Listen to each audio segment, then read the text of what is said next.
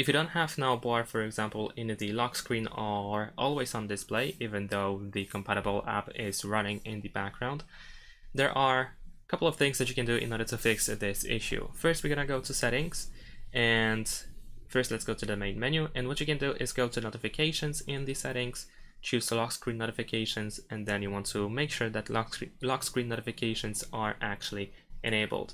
And now if I go to the lock screen as you can see I have the Now Bar and it is at least showing but as you as you noticed it just says stopwatch I don't have any options. So if you still have this issue then most likely it is because of hidden content. So you can make sure that the content is shown at least in the case of apps that are compatible with the now bar because as you can see now it is fully working. However if you still have issues with the now bar you can also go to lock screen and AOD open the now bar and make sure that apps here are actually enabled um, such as the media player as well and the current mode and everything from live notifications as well.